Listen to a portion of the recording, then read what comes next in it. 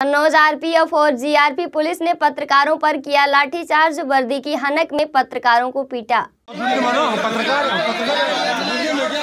डंडा लाइए सामने। डंडा लाइए डंडा। डंडा लाइए सामने डंडा। डंडा बात कर अरे पूरा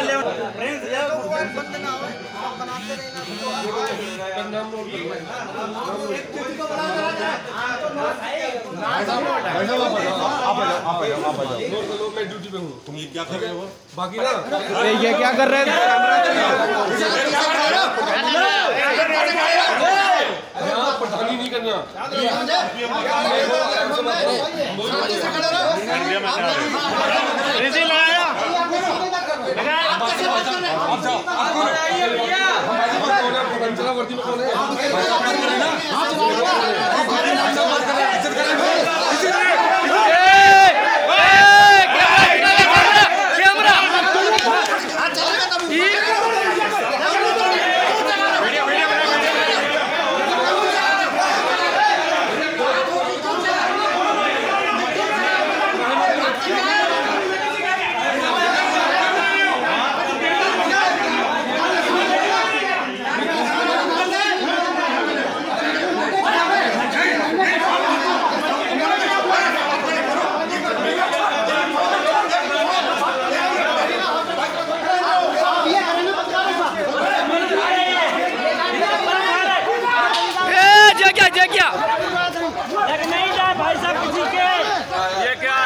आपको बता दें, देश के प्रधानमंत्री जी के आत्मनिर्भर भारत के सपने को पलीता लगा रहे रेलवे पुलिस कर्मी हद तो तब हो गई जब चाय वाले से वसूली के चक्कर में युवक को जमकर पीट रहे थे आरपीएफ कर्मी।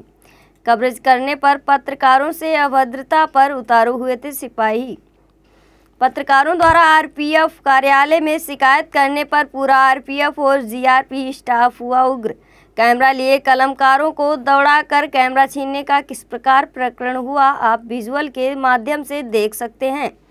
कन्नौज में बार बार ऐसी घटना, क्रम होना सीधे चौथे स्तंभ पर हमला है। पूरी घटना पत्रकारों के कैमरे में कैद हो गई है। और अब देखना ये है कि आरोपियों पर कार्रवाई होती है कि नहीं। कन्नौज से विकास सिंह राठौर की रिपोर्ट, पी न्यूज़।